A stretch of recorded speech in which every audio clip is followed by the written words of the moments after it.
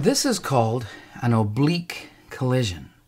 The balls do not hit directly head on, but rather slightly off center and then move off at angles. The incident ball, here M1, is the one that is moving initially with velocity V1. And it has a momentum and hits the target ball, M2, initially at rest. The momentum before is very easy to find. It's simply M1V1 because M2 is at rest. They hit, they move off at angles. Each has a different angle, theta 1, theta 2. Each has the, its own unique momentum, P1 and P2. Momentum is a vector. And we can add these two vectors head to tail. So we can bring P2 up and put the tail of P2 on the head of P1 and find the sum of these two vectors after the collision.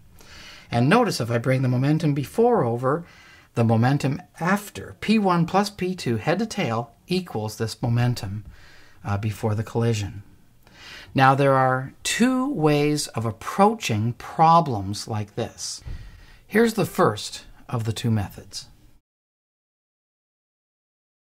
Method 1 uses the law of the cosines and the law of the sines. You've seen this before, you know it from math, but let's review this.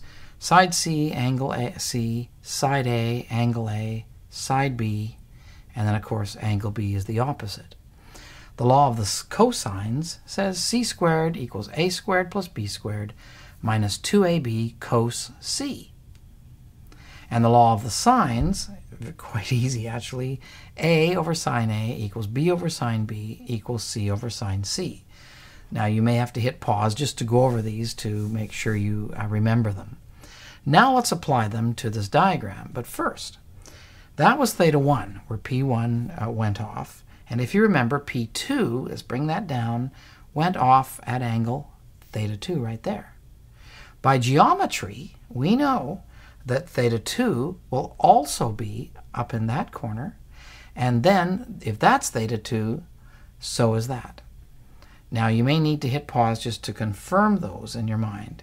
Now, how do we apply the law of the cosines to this. Let's take a look. The law of the cosines.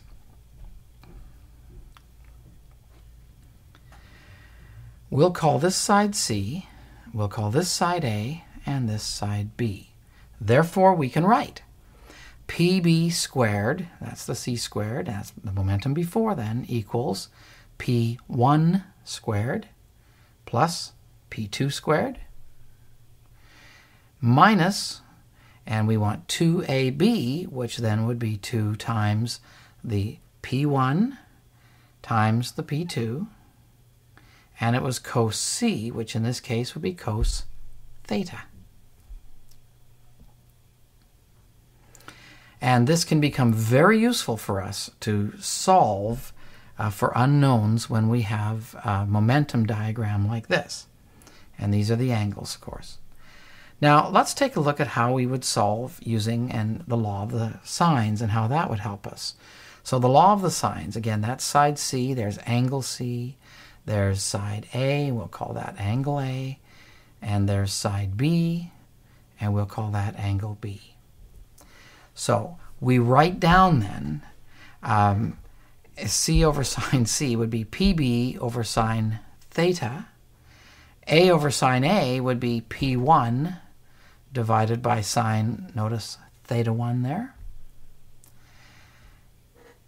And P2 over sine B, or sine theta 1. So study this and uh, understand the relationships, and you can use this to solve problems of oblique collisions.